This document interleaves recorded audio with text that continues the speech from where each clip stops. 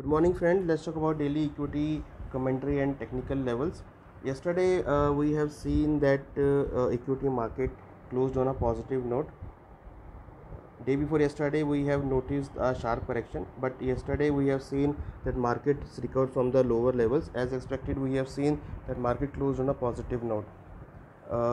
SGX Nifty and Bank Nifty, we are expecting that today they it, they will trade on a positive note after taking cues from a positive closing by the international market. Uh, Nifty strong support at 16,800 resistance 17,850. Bank Nifty support at 35,800 resistance 37,430.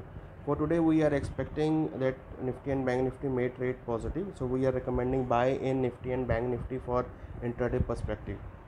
Also we are uh, we have seen that USD INR trading on a positive note and it closed at 76.28 by appreciating.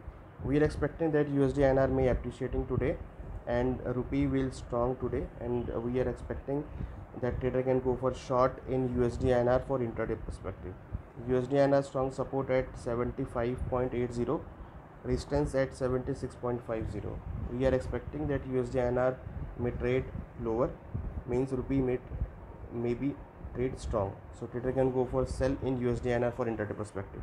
We hope that you will be benefited from this commentary. Thank you